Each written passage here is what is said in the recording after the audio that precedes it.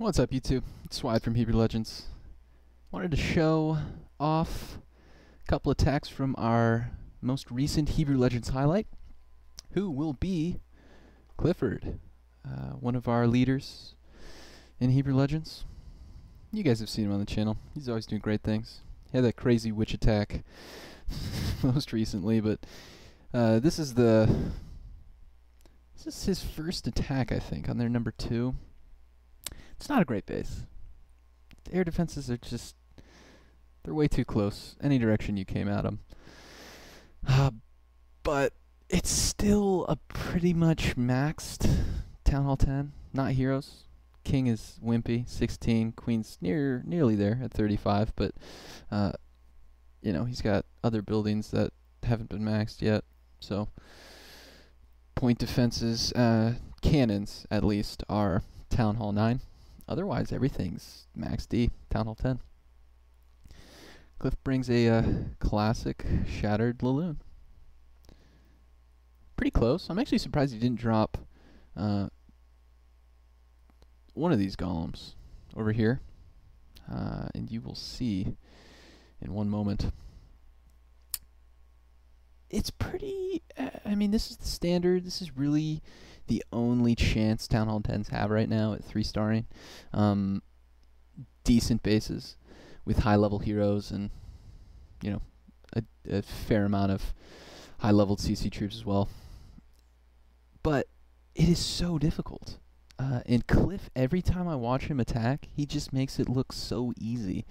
Um, never panics, does everything just kind of quickly but efficiently. Um, and he gets, you know, two air defenses and an Inferno with a couple spells and heroes, a couple golems. Here comes the Laloon portion.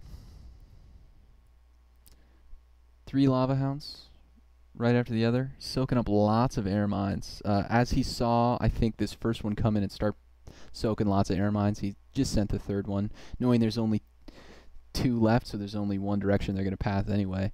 Uh, and then he just, you know, sends the loons right in after him selectively on each defense, and they just all meet in the center.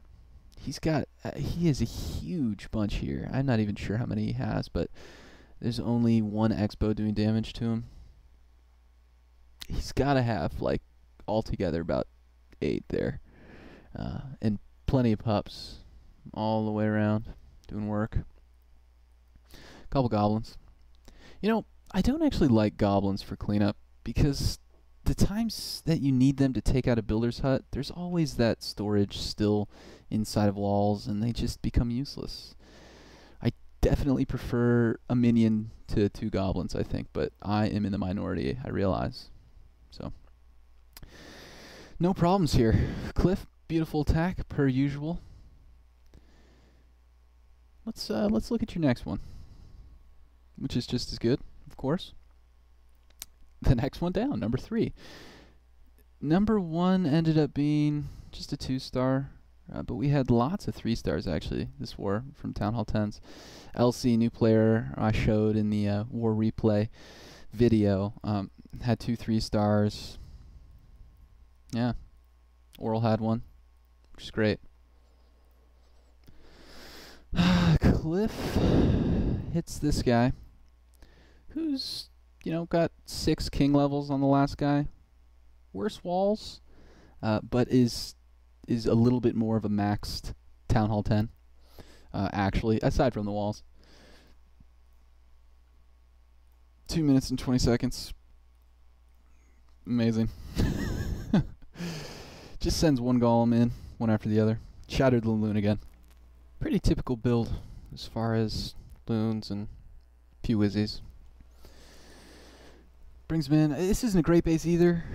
Um, again, you get in here and there's just the air defenses are a few golem steps away, or a king if he gets in there and starts going the right direction. Lightning's a CC, usual stuff. Queen, sitting back, picking away on all those high value targets.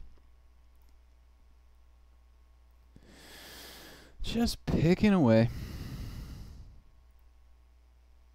now she's in, phases her, and just gets that Inferno Tower before she goes down.